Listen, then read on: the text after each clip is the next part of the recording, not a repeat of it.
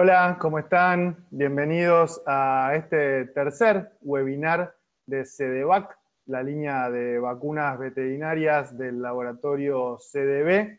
Les cuento, mi nombre es Luciano Ava, algunos me conocen, soy editor del periódico Motivar, eh, periodista agropecuario, y los voy a estar acompañando en el transcurso de esta nueva presentación, eh, en la cual vamos a estar compartiendo una actualización sobre el control y el diagnóstico de la tuberculosis bovina. Les cuento que ya estamos llegando a los 200 personas mirándonos de distintas partes de Argentina y también de la región. Sin más, los voy a invitar a ver un pequeño video en el cual ustedes van a poder apreciar eh, de qué vamos a estar hablando en los próximos 60 minutos.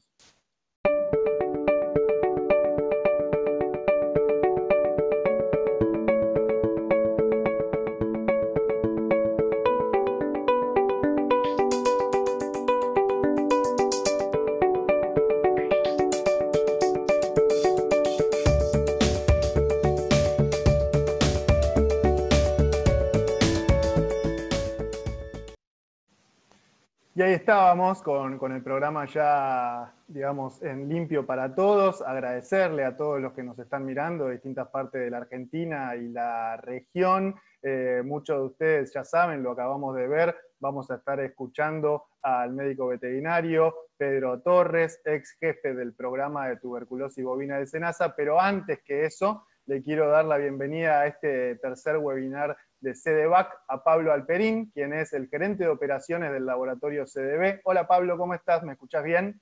Perfecto, Luciano, buenas tardes. Un gusto verte y saludarte por esta vía. Eh, y un saludo también para toda la audiencia que hoy se conectó para escuchar esta charla. Sí, Pablo, y un montón de, gente, muchos veterinarios, estoy repasando, tenemos la posibilidad nosotros de ver quiénes nos están mirando les, cuento que ustedes tienen habilitada la opción de preguntas y respuestas en esta plataforma para ir haciéndonos preguntas y sobre el final de la charla las vamos a estar repasando tanto con Pablo como con Pedro. Pero Pablo, te aprovecho eh, en tu rol de gerente de operaciones de CDB para que brevemente nos cuentes cuál es hoy la, la, situación del laboratorio y cómo ha venido creciendo en estos últimos tiempos en Argentina y en la región. Bien, bien.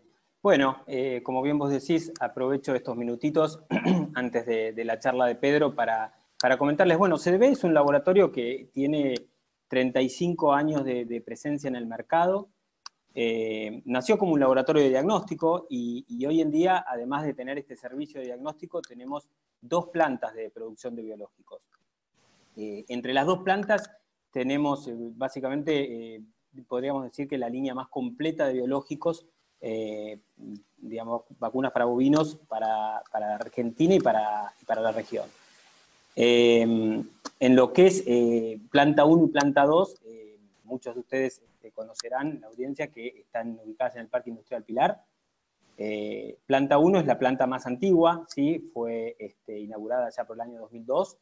Es una planta que produce vacunas bacterianas y vacunas virales y bacterianas combinadas así como también reactivos de diagnóstico, como es el caso de, la tuberculina. Eh, esta planta tiene más o menos una capacidad de producción anual de 50 millones de dosis de este, vacunas bovinas.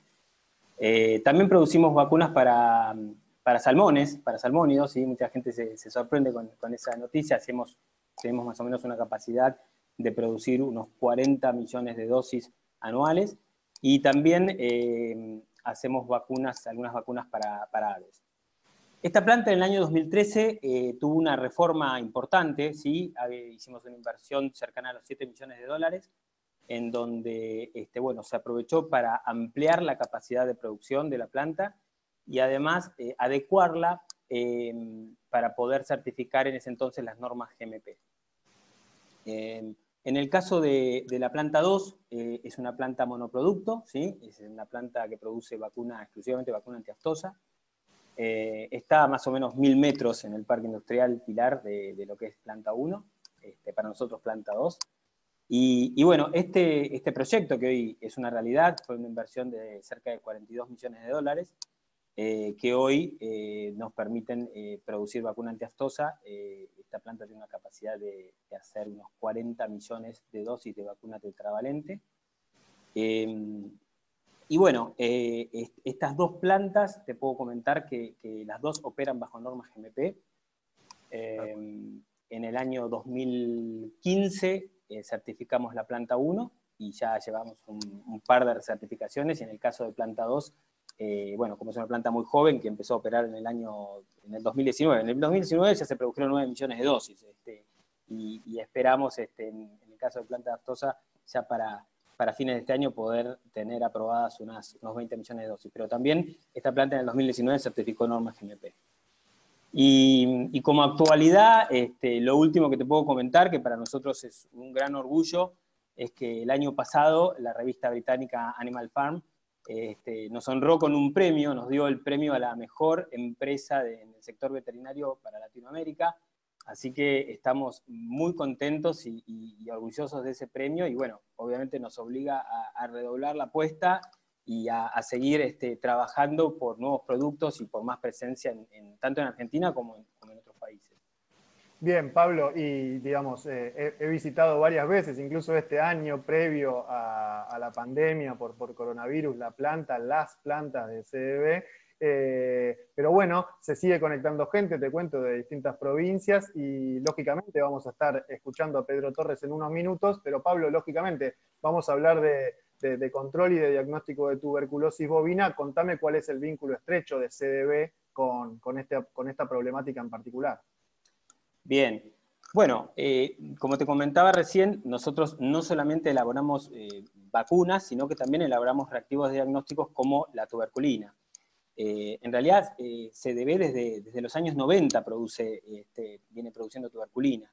Nosotros ya llevamos casi 200 eh, series este, elaboradas de, tuberculina este, y aprobadas, obviamente, por, el control de SENASA, tanto de tuberculina bovina como de tuberculina aviar más o menos por año estamos elaborando unos 8 millones de, dosis, en este caso serían determinaciones, porque estamos acostumbrados a hablar de dosis cuando son de este, dosis de, vacuna. Eh, aunque tenemos capacidad para triplicar esas cantidades. ¿sí? Eh, en esas reformas que te comentaba hace un ratito del año 2013, eh, nosotros también ampliamos este, los laboratorios de producción de tuberculina este, y el laboratorio también de control de calidad, eh, y a su vez adquirimos nuevo equipamiento que, nos permite este, tener, estar holgados en nuestras posibilidades de, este, producción y de control. Eh, todo el proceso productivo se realiza este, en CDB, tanto lo que es la producción como el control. En el caso de la producción, eh, se requiere trabajar en un nivel 3 de bioseguridad, básicamente porque las micobacterias son bacterias que son, pueden provocar la enfermedad al hombre y entonces, bueno, se preserva este, a los operadores y al ambiente trabajando bajo esa estricta, este, ese estricto nivel de bioseguridad. Y este, en lo que respecta al, control del producto, eh, básicamente ocupamos dos partes del laboratorio, eh, para lo que es el control físico, químico y microbiológico, eh, está el laboratorio propiamente dicho de control de calidad, y en lo que respecta al control de, potencia de, la PPD, que es muy importante, utilizamos instalaciones del bioterio de, animales terrestres, que es un gran bioterio que también sufrió este, estas reformas que, yo les comento. Eh, básicamente es un, bioterio que tiene 250 metros cuadrados y tiene capacidad para alojar a, cuatro especies eh, diferentes de animales de laboratorios, entre ellos los cobayos que utilizamos para, hacer la prueba de potencia de este tipo de ensayos. Em, er, realmente sí, sí, tenemos una, una muy buena eh, capacidad de, producción este, de, reactivo. Eh, eh, también me gustaría contarte y contarle a, toda la audiencia que este, nos damos todos los gustos porque contamos con el apoyo de un, de un asesor, ¿sí? un experto en PPD, que es el doctor Gentile. Eh, quienes lo conocen saben que este, ha trabajado, ha tenido la oportunidad de trabajar con, con expertos y referentes a nivel, mundial. Él fue jefe de los laboratorios de, del SENASA, ¿sí? en el área de microbacterias, y hoy en día este, es un estrecho colaborador nuestro quien, quien sigue este, los procesos tanto de producción como de control de este producto. Eh, CDB es el único laboratorio de Argentina que produce en Argentina bajo normas GMP este reactivo de diagnóstico. Eh, quiero destacar esto. Y, un poco para terminar y no robarle tiempo a Pedro, te, quiero comentar que eh, bueno, nosotros producimos eh, tanto para, para, Argentina como para la región, ¿sí? para varios países de Sudamérica, y estamos trabajando fuertemente para ingresar prontamente en otros países de América y, y estamos trabajando también con, con el ingreso a otros continentes. Bien, Pablo, bien, Pablo, buenísimo, buenísimo. Eh, clarísimo el vínculo de lo que está haciendo el laboratorio CDB en Argentina y en la región y el vínculo específico con lo que estamos charlando hoy, ¿no? que es esta actualización en el control y en el diagnóstico de la tuberculosis bovina. Pablo, bueno, voy a invitar a que paulatinamente se sume a, esta, a este webinar, al tercer webinar de CDBAC, al médico veterinario Pedro Torres. Ahí está, Pedro. Eh, espectacular. Ya te estamos viendo, Pedro, y te estamos escuchando. ¿Cómo andás? Bien, muy bien. Muchas gracias por la invitación. Bárbaro. Buenas tardes, Pedro. ¿Cómo te va? Un gusto verte. Igualmente, ¿cómo andan? ¿Todo bien? Todo bien, te vemos bien, te escuchamos bien, quizás un poco alejado del micrófono, pero te escuchamos perfecto. Y, bueno, Pedro, mientras te invito a que, a que compartas tu pantalla, Pablo, nos vamos a ver en un ratito cuando termine la disertación de Pedro, ¿te parece bien? Perfecto, vamos adelante.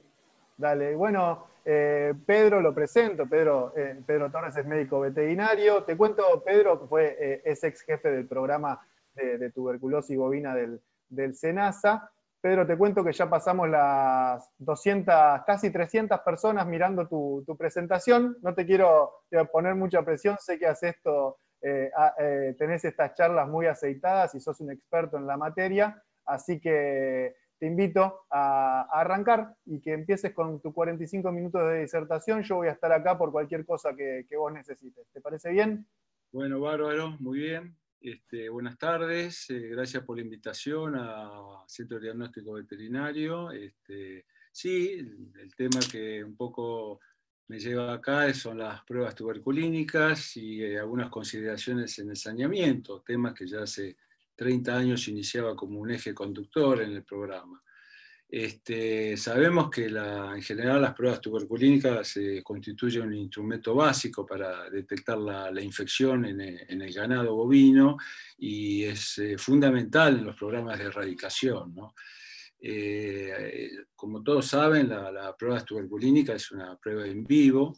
A mi criterio es el instrumento básico este, para detectar eh, la infección en ganado. Es una prueba con mucha historia, muy interesante, que por supuesto requiere de desarrollo de habilidades, pero eh, es la a mi criterio es la única forma este, práctica, masiva, que tenemos para eh, demostrar el hecho más significativo que hay en tuberculosis, que es la infección del ganado bovino por el Mycobacterium bovis. Eh, vamos a comenzar con la definición, que sabemos que es la inoculación de un antígeno, la, PPD, el dedo proteico purificado en forma intradérmica en animal, para saber si el mismo fue infectado por el agente causante de, la enfermedad, ¿no? el Mycobacterium bovis justamente. Y para poder este, comparar, este, para una correcta interpretación de, de las pruebas, ¿no? que sea comparable, este, repetible, interpretable, evidentemente entre los diferentes profesionales, tenemos que ir respetando este, en cada una de las pruebas que hacemos unas seis constantes que a mi criterio son fundamentales. Cualquier variación de una de estas variables o constantes puede generar este, cambios en los resultados de la prueba. Eh, hoy por hoy eh, sabemos que la, Evidentemente, cada uno eh, puede, eh, cada país puede cuantificar las variables de estas constantes. Es lógico que esto sucede inclusive dentro de un mismo país, en diferentes regiones, ¿no? porque eh, las situaciones epidemiológicas son este, diferentes. evidentemente, no es lo mismo trabajar en un área libre que en un área de erradicación o en áreas infectadas. Eh, la, otra mm, constante eh, es muy importante eh, tener, conocer Pedro, te, interrumpo, brevemente solo porque me olvidé mencionar que están apareciendo las encuestas, que la gente puede ir respondiendo mientras vos hablas y van a aparecer los resultados. Te pido disculpas la interrupción, solo para, para, avisar que pueden ir ustedes respondiendo tres encuestas que durante la disertación de Pedro vamos a estar haciendo. Muchas gracias, Pedro. No, hay por qué, sí, lo había visto, sí. Este, bueno, con respecto a la tuberculina, con respecto a la potencia tuberculina, que es eh, la primer constante, ¿no? es, fundamental este, saber la potencia de una tuberculina que ese bioensayo ¿no? que, realiza primero el laboratorio productor y después el control propio del SENASA, que sabemos que es la medida de su actividad biológica, ¿no? que los animales que han estado previamente sensibilizados con un organismo específico y siempre está valorada este, de acuerdo a un patrón o un estándar este, internacional. Hoy por hoy este, sabemos que la, eh, la, Organización Mundial de la Salud elabora... Eh, mantiene las, eh, vamos a decir, la orientación de cómo se elabora una tuberculina, ¿no? Este, a través siempre de la cepa AN5, ¿no? y siempre este, deberá tener la PPD bovina un miligramo de proteína por mililitro de antígeno para alcanzar las 32.500 unidades internacionales, en caso de la PPD bovina. En el caso de la vial, es la mitad 0,5 miligramos de proteína por mililitro de antígeno para llegar a las 25.000 unidades internacionales.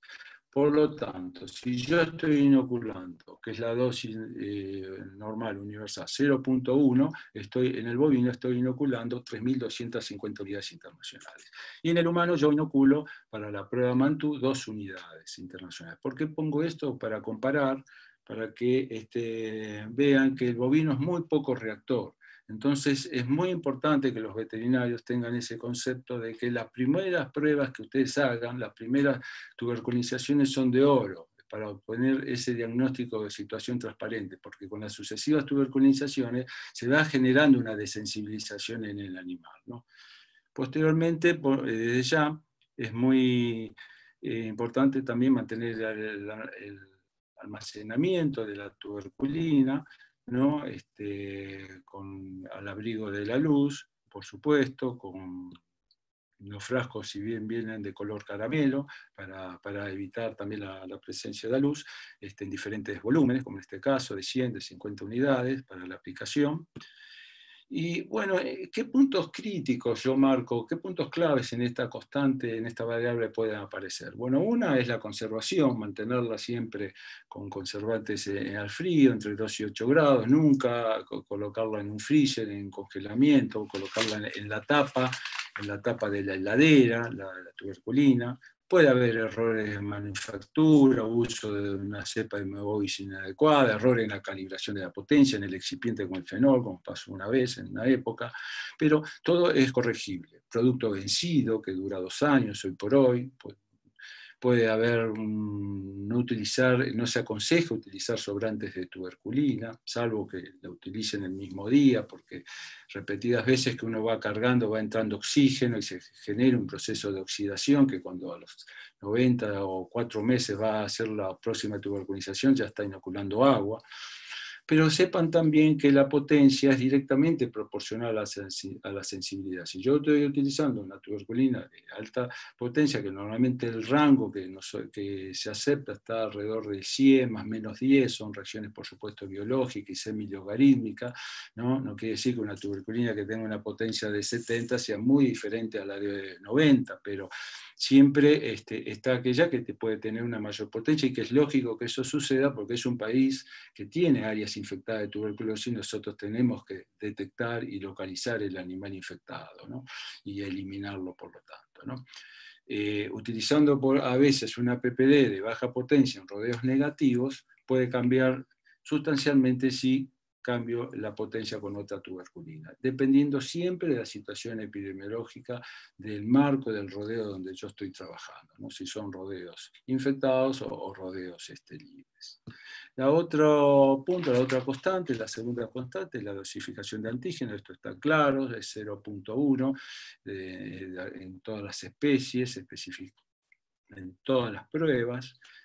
Y acá lo que podemos ver como puntos clave es que manteniendo invariable las cinco constantes, el volumen de antígeno inoculado, no importando el sitio, va a hacer variar la sensibilidad. ¿Qué significa esto? Si yo en lugar de 0,1 inoculo 0,2, 0,3 o 0,4, evidentemente este, me va a aumentar la sensibilidad de la prueba. Si el animal realmente es virgen, es negativo, no me tendría que reaccionar, pero si hay alguna sensibilidad para específica, un animal que es negativo, en esas dosis se puede transformar en positivo, en sospechoso. Lo mismo si en lugar de 0,1 doy una reducción de dosis, por lo que sea, por falta de calde, porque se perdió la tuberculina, eh, perdió la jeringa, etc., y estoy dando la mitad, también me hará disminuir la sensibilidad y la posibilidad de detectar mejor un animal. ¿no?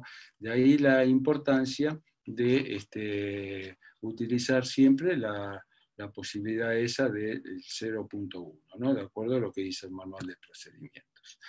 La tercera, este, en definitiva, constante, son los, este, los sitios de inoculación. Ustedes saben que tenemos una prueba operativa de rutina, que es la anocaudal, es una prueba muy específica, este, en general una prueba que sirve para determinar la presencia de la infección tuberculosa en un rodeo, en un establecimiento, en un monitoreo, en un muestreo específicamente. Es muy buena para eso por la especificidad que tiene. Y después tenemos las eh, pruebas cervicales. Una es la cervical simple, es una prueba de, saneamiento, es más sensible, es para eliminar el rodeo, el animal infectado del, rodeo este, que está afectado. ¿no? Es una gran prueba desde el punto de vista de su saneamiento.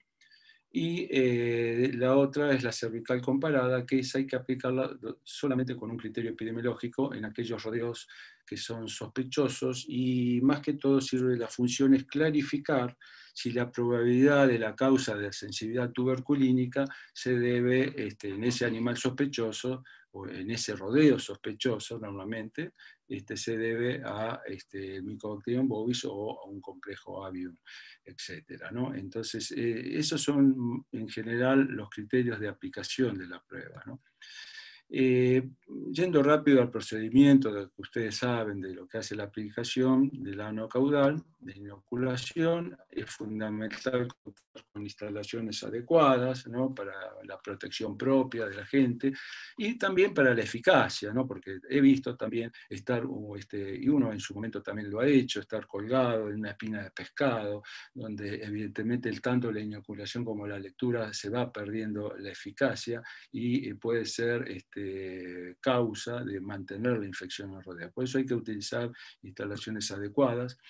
La identificación de los animales, evidentemente, eh, con las caravanas oficiales y las reglamentaciones que el SENASA obliga, pero eh, lo que hay que tener claro es que el éxito ¿no? Eh, realmente en el sistema de identificación individual de los animales al país de Australia le permitió eh, poder certificar libre tuberculosis en, 1998 y tener una trazabilidad correcta, a origen, ¿no? poder determinar la procedencia del rodeo. Entonces es muy importante tener una identificación individual, más teniendo un sistema de vigilancia en faena, donde si no va directamente de un establecimiento a, la faena, eh, muchas veces cuando pasa las tropas por mercados concentradores de hacienda o remate feria importante y se conforman otros núcleos de animales, se forma, se constituye lo que es un nudo epidemiológico que muchas veces después para ir este, y discernir en, la noria eh, de un frigorífico eh, no es tan fácil este, discernir de, quién es quién el origen. Entonces, esto es muy importante, esa identificación individual para poder llegar a, lograr un objetivo importante. Este, bueno, la limpieza del pliegue anocaudal, eh, la medición del pliegue interno anocaudal, si, si, si lo hace, si no, lo puede hacer solamente, en este caso la resolución lo permite, eh, solamente en la lectura utilizando el pliegue opuesto como testigo para hacer un poco más, más rápido y eficaz el trabajo. Este, por supuesto, el registro en los protocolos de tuberculinización y la inoculación en el pliegue anocaudal interno, ¿no? es un pliegue que es anocaudal, el otro pliegue específicamente es eh, el externo, que es, es un pliegue caudo-isquiático, no es eh, aconsejable aplicar ahí la tuberculina, a unos 6 centímetros de la de la base de la cola tranquilamente este, se inocula en forma paralela y aparece una, una pápula este, muchas veces este, visible. ¿no? Bueno, en el caso de la cervical simple, este, lo más importante es verificar la no presencia de nódulos antes de inocular. ¿no? Este, se palpa toda la, tabla del cuello y evitando los nódulos postvacunales, ¿no? especialmente de Astos y de otras vacunas, y se hace la depilación con una maquinita, con una tijera curva, y se hace la medición acá sí o sí previamente con un calibre, más o menos mediciones de 7-8 milímetros en el que es el Holando, la raza carnicera está alrededor de 12-13 milímetros y se registra en el protocolo este, de tuberculinización. Y por supuesto se hace la inoculación en forma paralela, acá los pliegues son gruesos, pero sí se tiene que observar y palpar una pápula este, diferenciando este, del nódulo vacunales que pueden aparecer. Con respecto a la,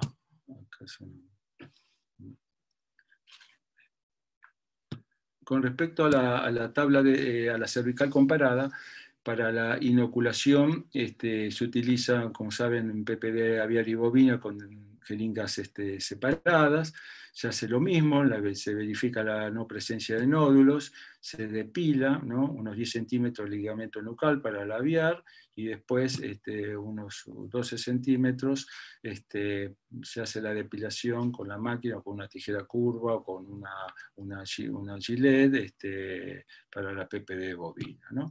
Se hace la medición previa, se registra el protocolo y con jeringas separadas se hacen las inoculaciones tanto este, aviar y bovino. Acuérdense que no es una prueba este, que, es buena, vamos a decir, o recomendable para trabajar en áreas infectadas, esta cervical comparativa, porque eh, tiene una muy baja este, sensibilidad.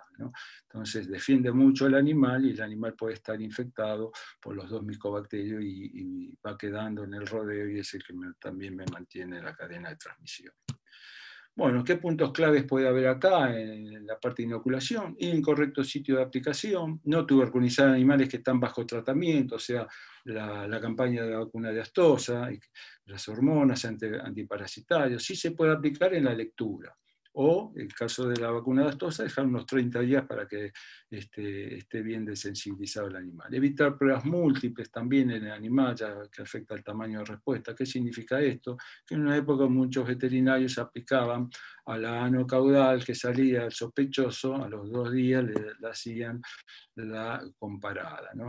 Y como sabemos que el animal es muy poco reactor, no, no dio resultados satisfactorios esa, esa, metodología, inclusive en Estados Unidos tampoco.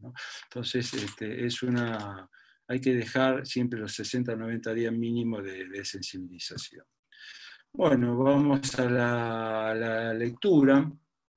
La lectura, lo más este, este, importante es específicamente la observación y la palpación, ¿no? Este, perdón, eh, quería, volver atrás.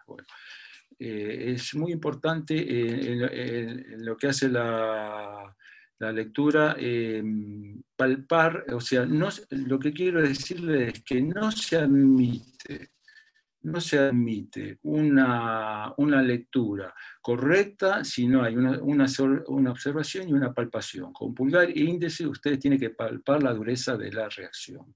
Entonces, una vez de eso, ustedes cualitativamente saben que es reaccionante o, o no reaccionante. ¿no? Entonces, a partir de ahí, este, directamente, esta es otra observación de otro lado, ¿eh? este, una reacción más pequeña, después la, la cuantifican, la cuantifican con el, con el, calibre, por supuesto, ¿no? diferentes tamaños de, de reacciones, ¿no? específicamente. Este, muchas de estas eh, generan una gran hiperreactividad, generalmente se debe a animales recién este, inmunizados, que nunca han tenido una tuberculinización. No es común, pero pueden aparecer necrosis, yo las he visto, pero en casos muy, muy especiales. ¿no?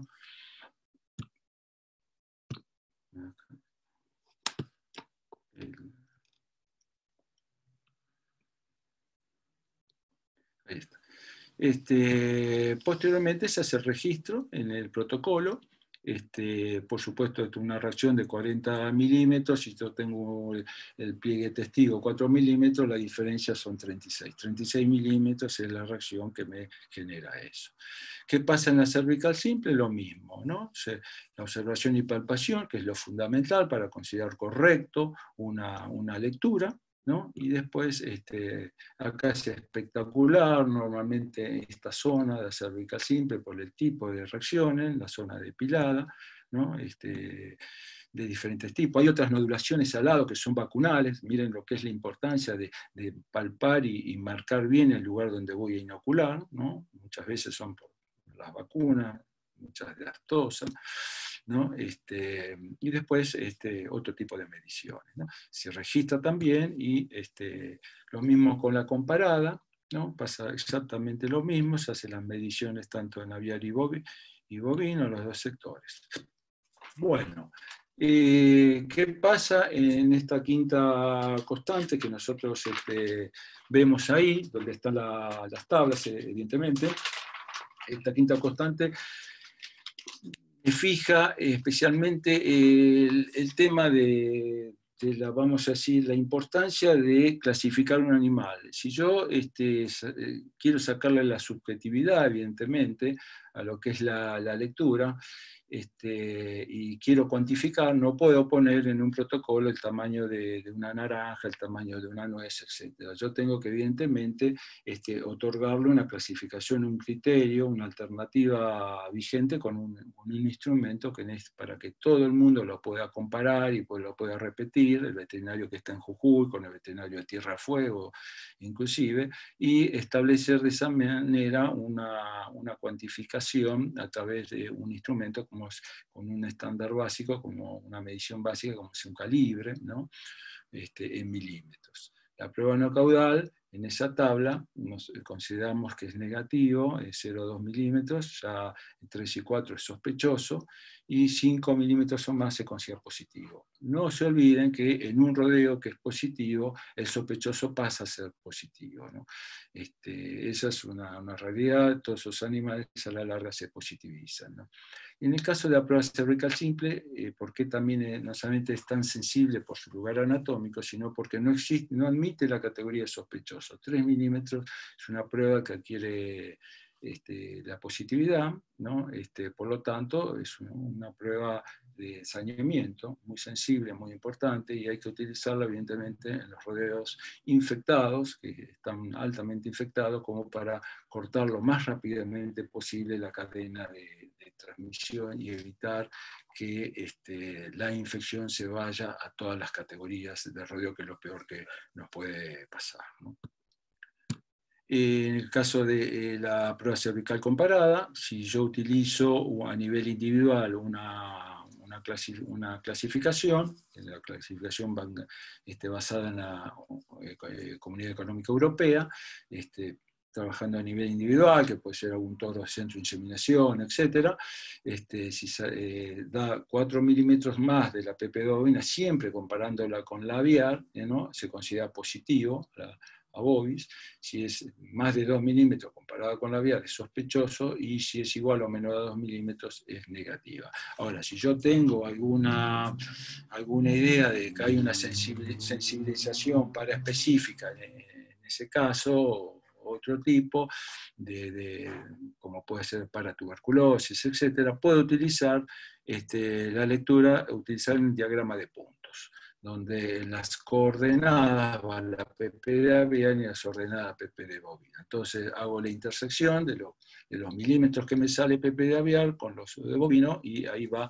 este, en el punto se localiza. Zona aviar, zona bovina, el lado derecho o sospechoso, o las sensibilizaciones en los tres lugares. Es un poco, me marca esa, ese diseño, esa tendencia hacia dónde puede ir ese rodeo, después en el caso que coincida con síntomas de paratuberculosis, etcétera, todo hay una batería de pruebas que después, por supuesto, hay que seguirla. Pero si no, este, ya me va diagramando a nivel rodeo una muy buena prueba como de screening en, en esos casos. ¿no?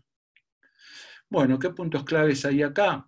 los criterios de interpretaciones personales, no respetando los manuales de normas y procedimientos, la simple observación sin proceder a palpación, eso es fundamental, no, no se puede este, establecer una, una medición sin, sin, hacer previamente la palpación, si la palpación me da totalmente negativa, ese animal ni se mide, pasa directamente, este, en el caso de la prueba no caudal, este, al rodeo. ¿no? Eh, la identificación del animal raptor, muchas veces al no tener una buena identificación queda el animal este, enfermo y se va sano, puede pasar eso, la mala confección de protocolos y de mala documentación sanitaria. No se olviden que hace unos años nos cerraron la exportación Europea por, por las auditorías detectaron en los campos mala confección de los protocolos y mal auditados por parte del organismo también, oficial. Entonces hubo una disminución en la cadena de actores que es fundamental ese, ese tipo de, de mantenimiento. ¿no?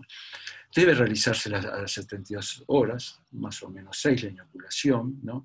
Es importante registrarlo. ¿no? Ustedes saben que a las 48 horas empieza a levantar la reacción y el pico es a las 72. Pero si voy 24 horas más tarde, evidentemente, erróneamente pueden considerar negativa totalmente la, la reacción. Entonces, eh, en eso es muy importante saber con respecto a las inclemencias del tiempo cómo van a trabajar. La persona que mide previamente debe ser la misma que lo haga posteriormente.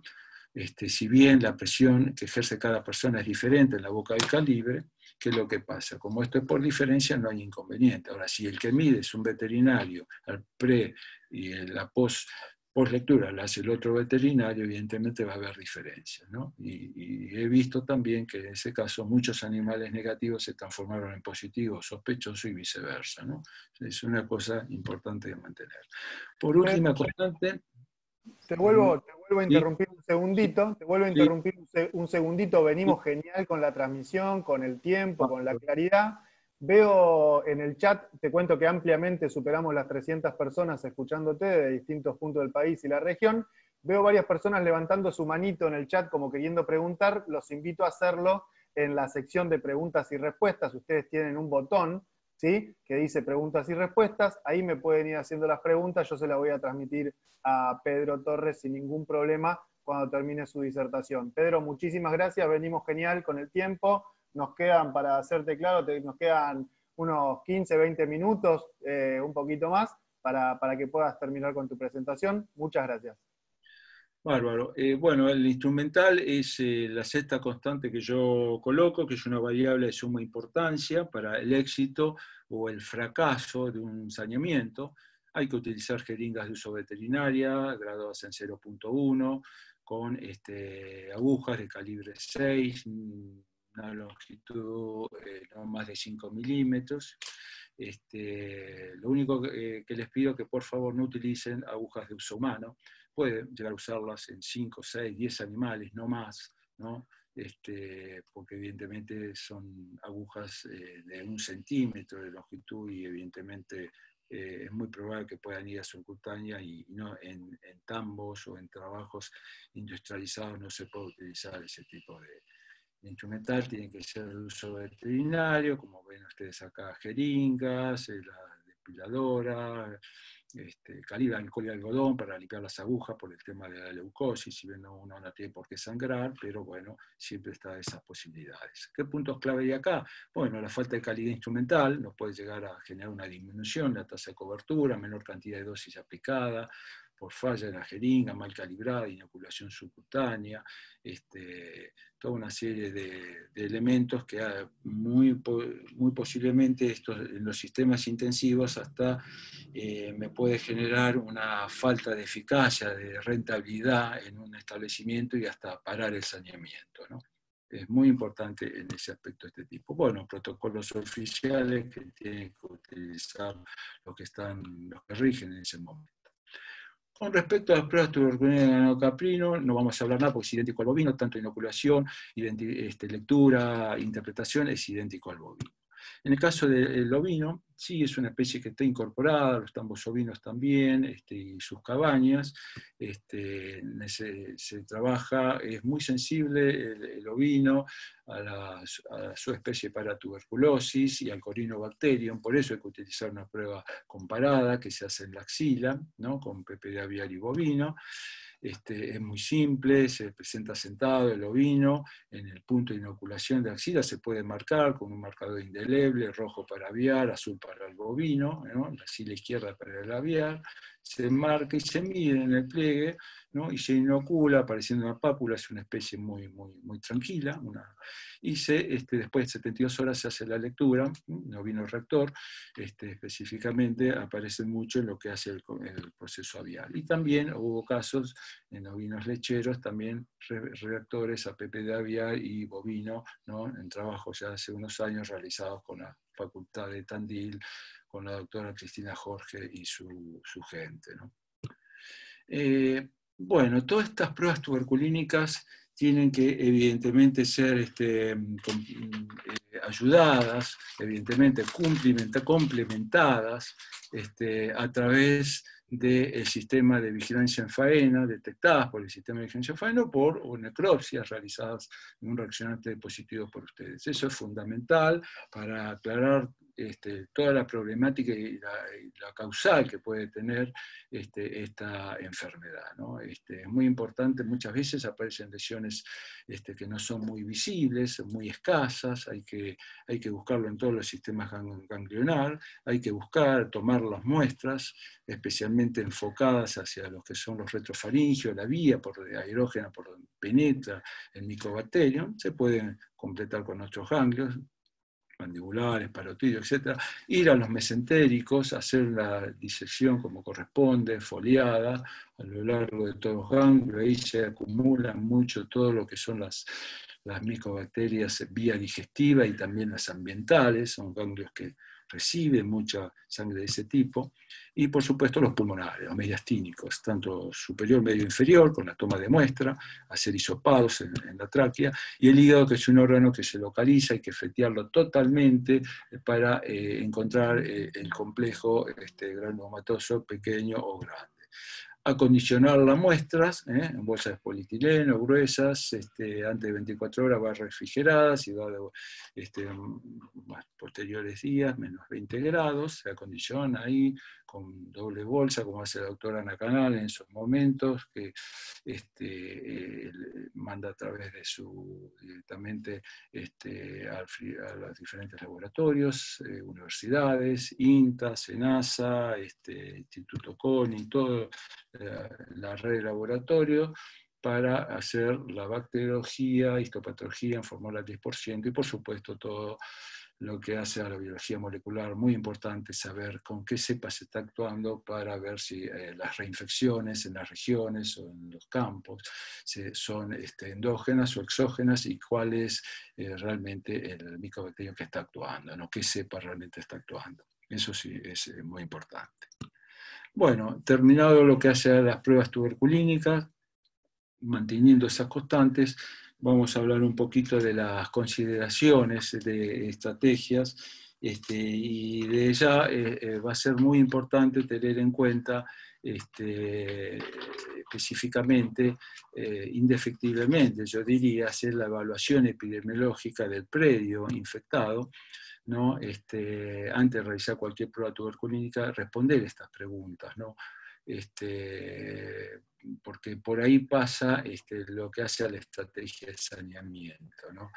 Una de ellas la, vamos a hacer responder rápidamente una por una, cuál es el objetivo, para qué estamos realmente trabajando, definir realmente ese objetivo constituye sin duda el punto de partida, ¿no? es fundamental importancia para poder programar después las actividades. Eh, partir de un diagnóstico de situación transparente, realizado a través de una prueba no como les dije, específica para eso poder reconocer el problema concreto de la enfermedad rodeo a través del aislamiento. Siempre hay que reconocer que el productor vea las lesiones y, sepamos que hay Mycobacterium bovis en el establecimiento con el aislamiento. Y por supuesto el veterinario tendrá que crear las alternativas posibles. Por lo tanto, podemos afirmar que con una planificación coherente nosotros podemos lograr el objetivo que queremos. Muchas veces no es lo, alguien quiere eliminar los animales para hacer un descarte, pero las actividades van a ser totalmente diferentes si queremos eliminar la enfermedad dentro del rodeo. Por eso hay que fijar ese objetivo y realmente definir qué esperamos obtener con la utilización de este método diagnóstico. Entonces, eso tiene que estar muy claro. ¿no? Crear, por supuesto, un equipo de personas, motivar, capacitar a todo, toda la gente que trabaja en establecimiento, el guachero, el tambero, el tractorista, el peor, cada uno en sus funciones tiene que estar compenetrado en el asunto. ¿no? pasamos después, posteriormente, a esta pregunta, ¿cuál es el conocimiento de la condición sanitaria del rodeo respecto a la enfermedad? ¿Se merece analizar la historia del rodeo, cómo fue formado, resultado de pruebas anteriores, ingresos, situación de la tuberculosis en rebaños adyacentes, las áreas vecinas, si a nivel regional está el programa regional funcionando, la presencia realmente a través de anamnesis, saber si hay presencia de animales reaccionantes dentro del rodeo, ¿no? Este, saber este, realmente si hubo ingresos, este, por qué vía este, pudo de, de, transmisión, de difusión fue, si este, fue por, ingresos o fue una reactivación endógena propia, que realmente eh, quedaban animales este, infectados, resultados tuberculónicos confiables, y los datos que todos puedan surgir de la vigilancia epidemiológica, en faena a través del SIGICA, a través de todo el sistema que, informático que les puede dar, la, detección de lesiones compatibles con la inspección veterinaria. Todo eso nos va a permitir tener una visión global de lo que es la historia natural de la enfermedad dentro del rodeo. Una vez obtenido esa anamnesis, vamos a poder este, analizar e, ese diagnóstico de situación con una prueba, vamos a saber la prevalencia, pero también saber este, qué capacidad económica y financiera de, cada establecimiento está como para poder posibilidades de eliminar reactores. Entonces ahí es donde tenemos que seleccionar la prueba tuberculínica a utilizar. Tenemos prevalencia, sabemos la capacidad económica, sabemos el grado de infección, tenemos que conocer la sensibilidad y especificidad de las pruebas diagnósticas, eso es muy importante. Este, normalmente hay que este, utilizar pruebas en los rodeos que están infectados, realmente infectado, utilizar pruebas altamente sensibles para cortar rápidamente la cadena de transmisión. Lo ideal es eh, utilizar, eh, buscar aquella prueba que me detecte la mayor proporción de animales infectados con el menor número de repeticiones tengo que cortar muy rápido esto, no lo puedo alargar mucho tiempo, hay que cortar rápidamente, porque enseguida se me, se me va a difundir, tiene una fase aguda muy grande la tuberculosis, eso quiero que sepan los veterinarios. Es crónica, pero tiene una fase aguda terrible que me elimina directamente todo lo que son rodeos enteros, especialmente si este, las infecciones este, son, son muy virulentas, ¿no? y las vías de transmisiones también. Entonces, para eso podemos tener la prueba este, cervical simple, prueba de saneamiento por excelencia. ¿no? Este, y después, por supuesto, saber cuál es el alcance de la prueba anocaudal, utilizada más que todo para la detección este, y la presencia de la enfermedad, dependiendo siempre de la, qué prevalencia yo puedo obtener. Tenido otra, obtenido esto, fijamos qué categoría de rodeo vamos a testear. Ya sabemos la prevalencia, qué prueba vamos a hacer.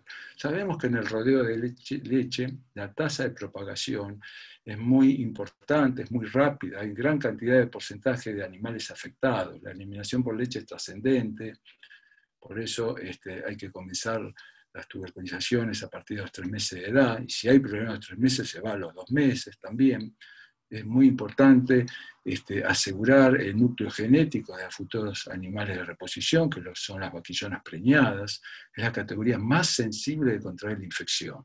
Eso ténganlo en claro, las vaquillonas preñadas. ¿Qué pasa este, con el rodeo de carne?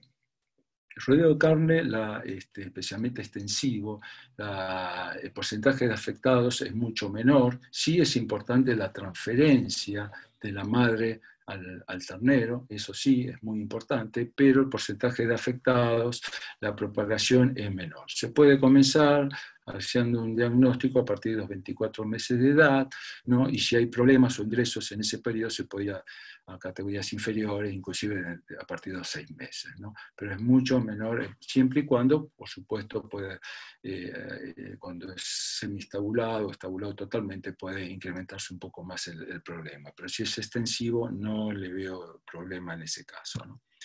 Bueno, ¿cómo vamos a evaluar los resultados? Los resultados, evidentemente, hay que evaluarlos siempre eh, con criterio epidemiológico, este, a nivel rodeo, nunca considerarlo el animal aisladamente. Hay una serie de interpretación de, pruebas, de guías de saneamiento que están en los planes, un poco marcando este, ciertas consideraciones ¿no?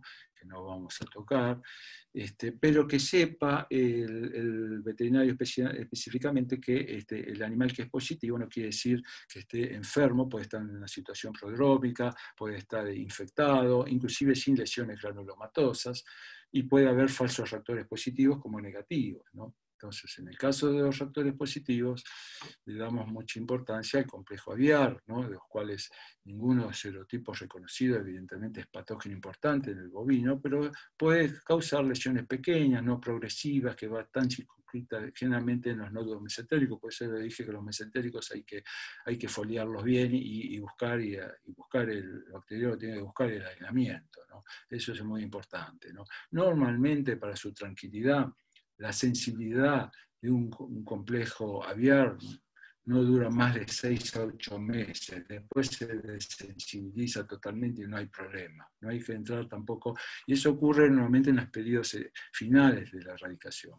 Hay trabajos muy buenos de la doctora Susana Uriani en lo que hace a los terrenos este, con aislamiento, porque el complejo aviar no se, no se erradica, está en el medio ambiente, entonces todas estas micobacterias pueden este, afectar lo que hace a la lectura, pero en, etapas este, de erradicación específicamente. ¿no? La paratuberculosis también, enfermedad ya agente causal, muy problemática, y otras micobacterias no patógenas que se encuentran especialmente en las lesiones de la piel, las llamadas dermatitis tuberculosa. Yo ahí normalmente aparecen en, en, bovinos de tambo, en las patas. Ustedes cuando especialmente cuando trabajen buscando esos animales que me mantienen alguna infección dentro de un rodeo libre, ¿no? específicamente, y lo faenan, busquen en el cuero, en el lado interno, a la, altura del pichico, como se dice, en las patas, un granuloma que se corta, inclusive este, tiene crujido, ¿no? y se manda al laboratorio y ahí les puede aparecer una infección por fortuito, calzasi, etc. Y es, eso es importante porque son inclusive este, reacciones que les pueden marcar hasta 6, 5, 6 milímetros tranquilamente, ¿no? pero forman parte de la dermatitis tuberculosa. ¿no? Y entre los factores negativos, los que ustedes saben, infecciones muy recientes, preñez avanzada, inmunosupresión postparto, shock de la defensa, y la sensibilidad tuberculínica normalmente va eh, progresando, a medida que progresan las lesiones, va disminuyendo y, genera lo que es la alergia tuberculínica. Yo con respecto a la alergia, lo que he visto especialmente es que eh, animales que en su momento, eh, tambos industrializados, daban 15, 16, 17 milímetros y no fue segregado, no fue eliminado, la próxima este, reacción ya da 3, 5, 3 milímetros y después nada. Y ese animal sigue progresando las lesiones, no lo detectaron, después siguen como negativos y es cuando ahí se hace diseminador bacilífero, como dicen los americanos, son shedders, eliminan totalmente este, los bacilos este, contagiando y ustedes que venían controlando la infección con el 1 o 2% más o menos en esos tambos industrializados, de golpe le hace un pico de un 20-22%. Bueno, esa es la razón. Y lo peor que a una tasa bastante constante va aumentando esa, esa cantidad de animales y pierden el control del saneamiento, que es lo peor que le puede pasar al veterinario. ¿no? Después enfermedades virales, inmunodeficientes, esteroides, como de la leucosis, una inmunodeficiencia también importante, inmunosupresor, etc., pueden generar una disminución en la, respuesta tuberculínica, la desensibilización local y sistémica, eh, inocular tuberculina también, ¿eh? Progresivamente se va desensibilizando el animal en forma local y sistémica.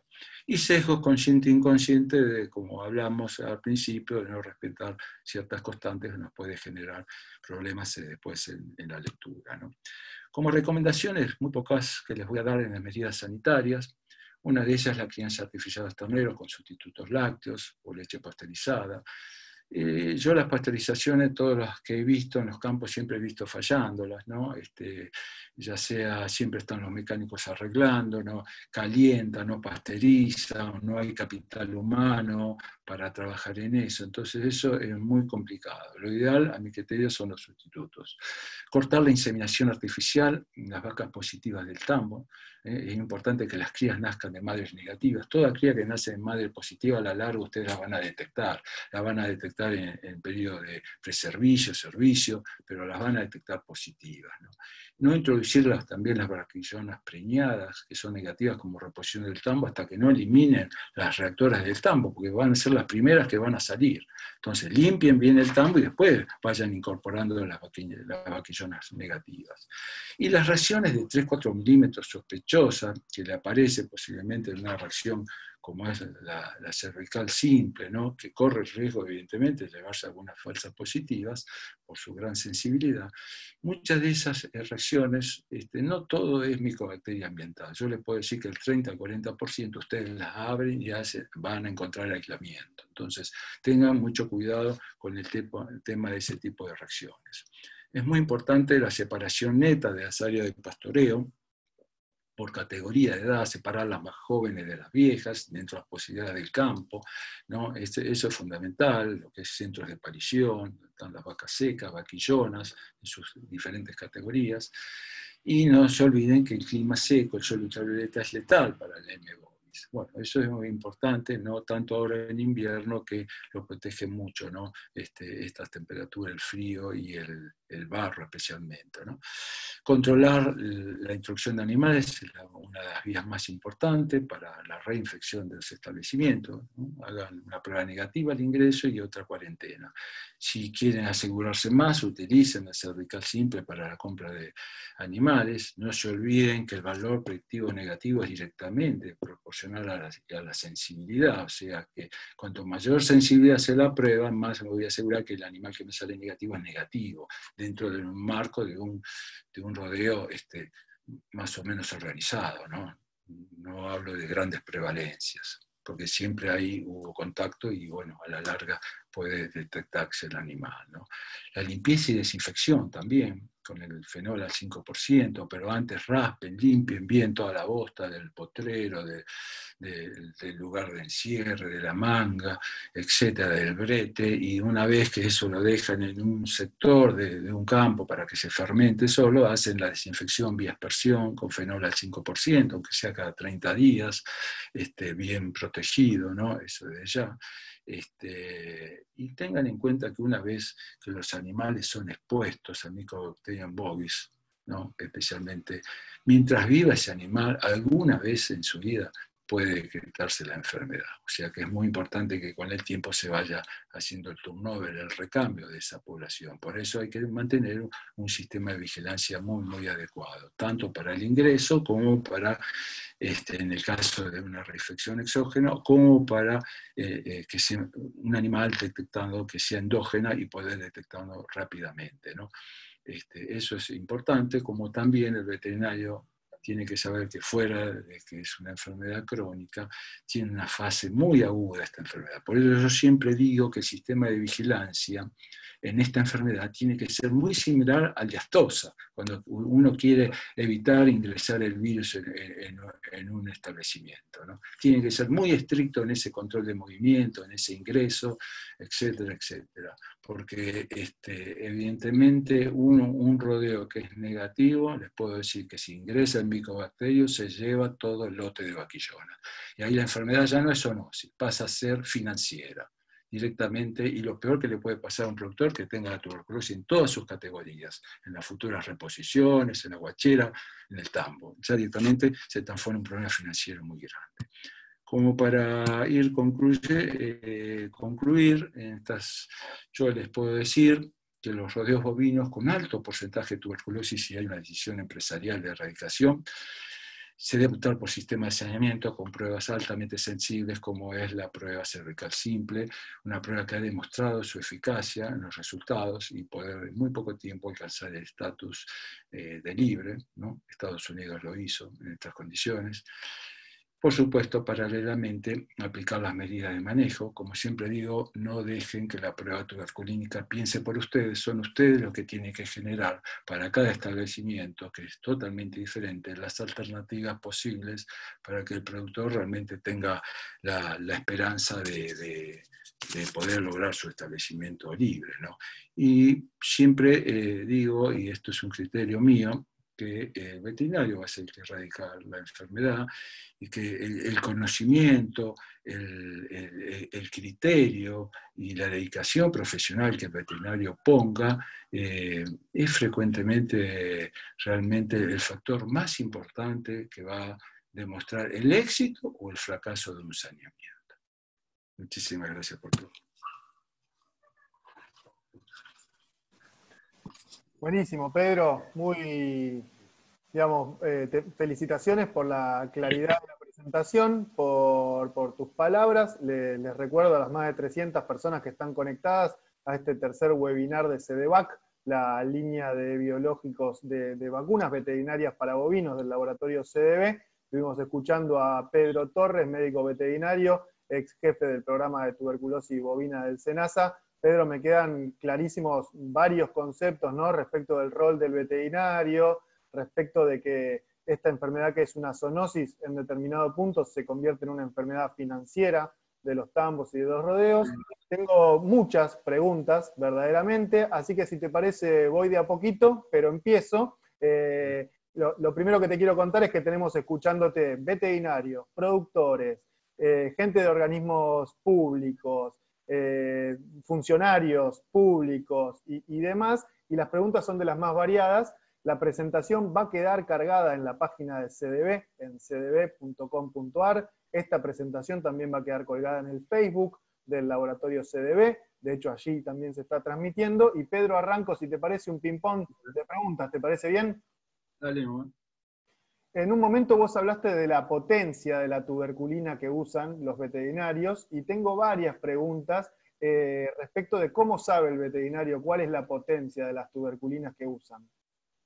No, la, importancia de la potencia eh, está respaldada por los organismos oficiales, esos, este, a eso me referí, ¿no? Este, eh, ese no, les puedo dar una, una, experiencia de hace poco antes de retirarme, se detectó a través de un veterinario de actividad privada una, una problemática en una marca que no sé si ya, no creo que no está elaborando tuberculina, pero que era a través de un incipiente como era el fenol y que generaba una, una respuesta mal y enseguida eso se paró y se controló. Pero e, e, ese respaldo que puede dar el control oficial y el propio laboratorio en su producción es el que respalda la potencia. Nosotros siempre hemos trabajado con los laboratorios y para áreas infectantes es muy importante tener una potencia que, está en esas condiciones. Otros países pueden tener potencias menores. Estados Unidos estoy seguro que su turbina debe tener una pero porque es un país que está libre. Entonces no se considera tener una alta potencia porque no tiene que erradicar nada. ¿Entienden? Entonces, este, eso es muy importante, hay que trabajarlo mucho con la este, situación epidemiológica en cada zona inclusive, porque hasta dentro de un mismo país puede haber, nosotros tenemos un área libre como Tierra del Fuego, se puede trabajar también con otra metodología. Clarísimo, Pedro. También me consultan, eh, si se me pasan los 21 días en la inoculación, ¿se puede repetir eh, a los 60 días la PPD y luego de ello a los 21 días sacar sangre para hacer gamma interferón? Bueno, eh, yo no hablé de pruebas diagnósticas serológicas. Este, la PPD, eh, eh, la, desensibilización se ocurre a los 60 días como mínimo. Este, no, hay que, no hay que hacerlo antes, ¿no? Este, eso es importante. Lo del gamma interferón, en eso no, no me da muchos, muchos temas, este, la tuberculina por ser potencia, por supuesto al mover todo el sistema inmunológico permite la utilización también de gamma interferón, son dos cosas iguales, estoy potenciando un poco más la sensibilidad, pero yo eso lo reemplazo con la cervical simple, esa es la realidad. que es una prueba que ya este, Estados Unidos radicó su tuberculosis con esa metodología tan simple como eso. Bien, Pedro, tengo, tengo más preguntas, pero estamos bien de tiempo, así que con este tipo de respuestas vamos a llegar a responderlas. Eh, me preguntan eh, a ver qué piensa el doctor Torres con respecto a la posibilidad de modificar la resolución 128 y cómo en el caso de, y como en el caso de brucelosis simplificar la llegada al libre con menos pruebas a campo. No, eh, yo lo que no quisiese eh, que se libere tuberculosis desde un WhatsApp.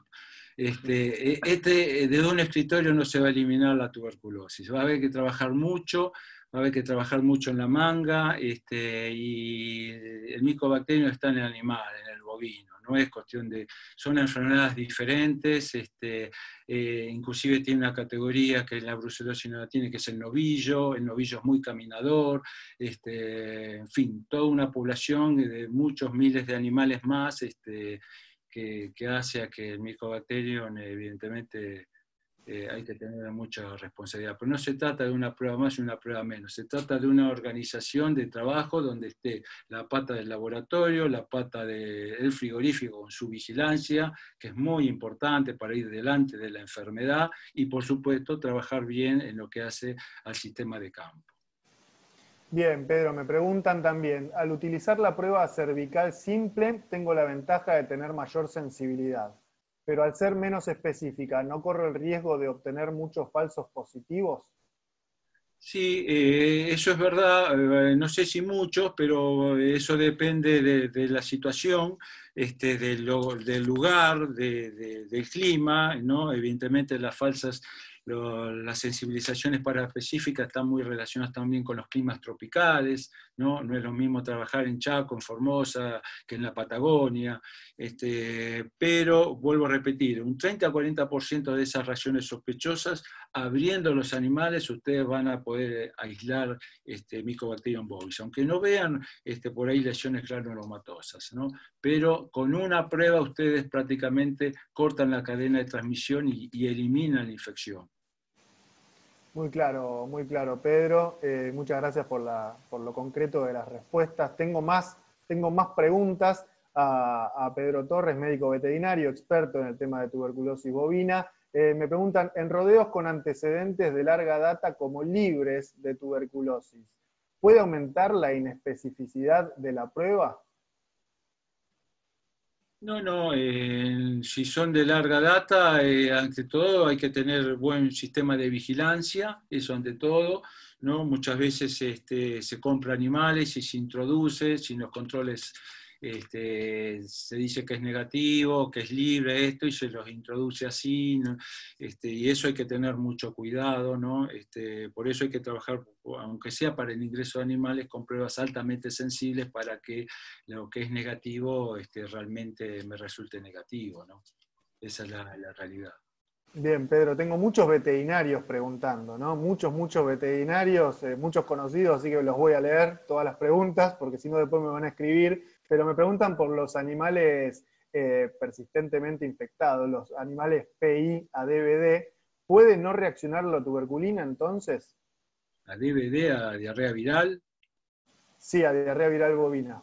Este, Normalmente este, la baja, sí, la baja de inmunidad eh, forma parte también de un sistema, como dijimos, de que me puede generar falsos negativos, dependiendo de, bueno, por supuesto, del sistema productivo, eso depende, no es lo mismo el, tambo, el sistema lechero, que el sistema de cría. En el sistema lechero el animal está estresado, con, dos este, ordeñes por día, o es otro tipo de, pero todas esas cosas hay que tenerlas en cuenta, como la alimentación también, etc. Hay, muchas variables que hay que analizarlas desde ya.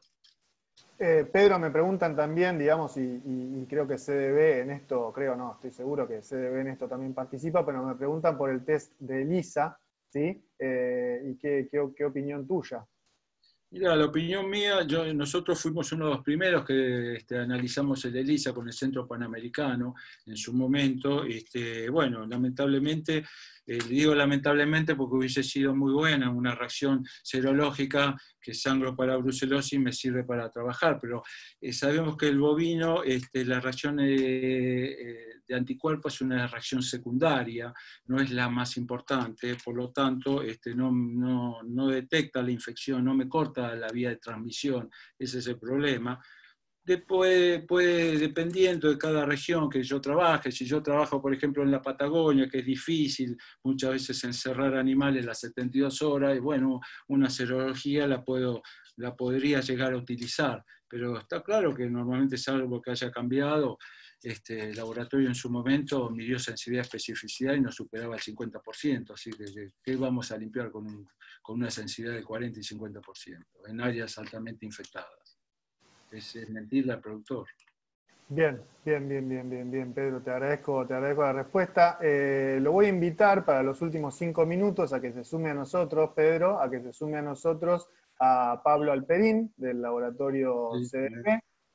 Vamos a que estuvo escuchando también muy atentamente tu, tu, presentación. Mientras avanzo con otra, con otra pregunta, con otra pregunta, dice, en algún momento hizo referencia a la importancia de la cepa actuante hay trabajos que demuestran a nivel local distinta patogenicidad de acuerdo al espoligotipo actuante, me dicen. Eh, ¿Hay alguna reflexión respecto de esto, de la cepa actuante, Pedro?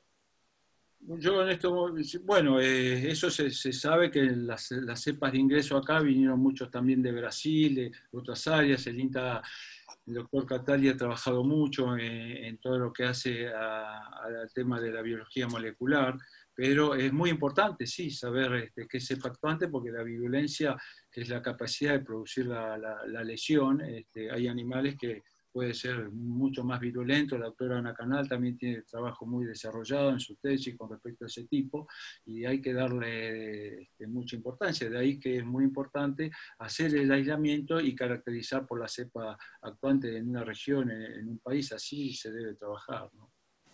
Bien, Pedro, y te sumo, Pablo, Pablo Alperín, gerente de operaciones del laboratorio CDB. Bueno, primero para darte un respiro, Pedro, de tantas preguntas y después porque también tengo para para Pablo. Queda claro, Pablo, que, es un, que es un tema sensible, una enfermedad sensible. Incluso Pedro en algún momento eh, solicitó que sea tratada su vigilancia al mismo nivel que, el Programa Nacional de Vigilancia de Fiebre Aftosa y de Control de Fiebre Aftosa. Y desde el punto de vista del elaborador de estos productos, de las tuberculinas, ¿cómo es el tema de qué, qué les exigen para que el producto cumpla a campo con, con lo que promete? Bueno, bien. Eh, la producción de, tuberculinas, como tantos otros eh, procesos productivos, eh, está, regulado. nosotros tenemos que ajustarnos a, una normativa, ya sea este, para, con respecto a, todos los, los, controles que realizamos.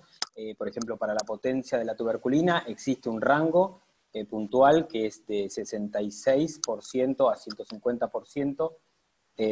nosotros eh, tenemos una exigencia superior, es algo interno nuestro, eh, todos nuestros lotes de tuberculina están, este, eh, digamos, circunscriptos a una potencia entre 90 y 110%. para todos los lotes tratamos de cumplir estrictamente con esa, potencia, a pesar de que el, rango autorizado es mayor. Este, esto para garantizar una, este, una homogeneidad en términos de, potencia lote a lote. Bien, Pablo, gracias por la respuesta. También, Pedro, vuelvo. Hay muchas preguntas de manejo, Pedro. Hay muchas preguntas de manejo de los veterinarios y dudas, y te las voy transmitiendo. Nos quedan unos pequeños minutitos más. En un establecimiento con alrededor del 2% de prevalencia, con dos o tres tuberculinas por año, ¿reemplazaría la anocaudal por la cervical simple? Bueno, depende a dónde quiere llegar el productor. Si realmente quiere erradicar, sí. Este, si quiere seguir con la, con la enfermedad, este, bueno. Este, pero sería muy importante, por supuesto, ver también todas las consideraciones de manejo que tiene el establecimiento, pero si no elimina, evidentemente eh, la enfermedad va a persistir, porque la prueba no caudal eh, tiene una, una, relación de entre un 82 y un 85% de sensibilidad, o sea que hay un 15% de, de falsos que me quedan en el rodeo. Eh, la última, Pedro, que te hago, porque me parece que está bien, que es eh, vinculado a esto del saneamiento, ¿no? Sí, sí hay casos de éxito, hay casos de éxito para mencionar en, materia de saneamiento de la enfermedad. Sí, sí.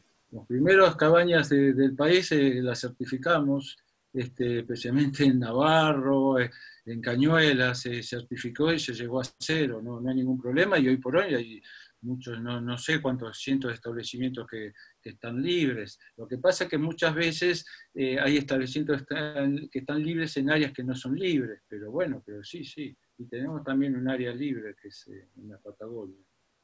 Bien, bueno, eh, 8 y cuarto de la noche, una hora y 15 minutos de, este tercer webinar de CDBAC. Cumplimos perfectamente. Eh, Pedro, te agradezco enormemente. Pablo, Empiezo por vos la despedida para que brevemente nos cuentes qué te pareció y cómo cerramos desde el punto de vista de, CDB este tercer webinar de CDBAC. Bueno, perfecto. Bueno, antes que nada quiero agradecerte, Pedro, por, esta, esta presentación realmente clarísima, este, muy profesional este, y, muy agradecidos este, porque hayas este, compartido toda tu experiencia de campo este, en relación a, lo que es esta enfermedad de tuberculosis y, este, las posibilidades de, saneamiento de, la misma. Eh, no quiero olvidarme de, algunos agradecimientos. Eh, quiero agradecer a Florencia y a, Paola que están detrás de cámara, y así como también a Andrés, que colaboró para, para que pudiera salir todo de la mejor manera. Por supuesto a vos, Luciano, y a, Nicolás, por toda la ayuda. Eh, y, bueno, y agradecer fundamentalmente a todos, a todos los oyentes, ¿sí? veterinarios, productores, gente de, este país y de otros países que, como comentaste, que, han tenido interés en, esta charla, este, en esta presentación de, Pedro. Así que les agradecemos muchísimo y estamos muy contentos con, la repercusión y la convocatoria que, ha tenido. Bien, Pablo Alperín, gerente de operaciones del laboratorio CDB. Pedro, me despido, al final me la dejaste picando. Dijiste, bueno, y si depende si el productor quiere erradicar o no quiere erradicar. Y mi pregunta es así de sencilla. ¿Quiere el productor erradicar o no quiere erradicar? ¿De qué depende eso? Bueno, yo creo que la, tuberculosis realmente, eh, fuera de la zoonosis, es una enfermedad financiera. Si eh, va a mantener la tuberculosis a la larga se le, va a hacer problemático porque es muy difícil mantener ese, ese, constante y hay, que, hay que erradicar. ¿no? Es la única manera utilizar rápidamente una prueba altamente sensible para cortar lo más rápido posible la, cadena de transmisión y a partir de ahí solucionar el problema. Bien, Pedro, seguramente ahora Nicolás de la Fuente, quien estuvo a cargo de esta operación, nos va a compartir la placa del final. Por mi parte, Pedro Torres, médico veterinario, experto en tuberculosis bovina, ex jefe del programa de tuberculosis bovina del SENASA, te agradezco enormemente por la claridad de los conceptos. Muchas gracias, Pedro. Muchas gracias, Pablo Perín, gerente de operaciones del laboratorio CDB. Mi nombre es Luciano Ava, un placer, como siempre, acompañarlos en estos webinars que CDVAC, la línea de vacunas veterinarias del laboratorio CDB, está poniendo en marcha en este contexto que nos toca vivir. Así que, sin más, va a quedar ahora una encuesta para ver de qué quieren las personas que nos están escuchando de que sea el cuarto webinar de CDVAC. Y les recuerdo a todos que la charla va a quedar grabada en cdb.com.ar. También va a quedar en el Facebook del laboratorio CDB y seguramente se las vamos a estar compartiendo también vía email con un agradecimiento en los próximos días. Como les dije, nada más. Muchas gracias a las más de 300 personas que participaron de esta conferencia y nos despedimos. Hasta la próxima. Chao a todos.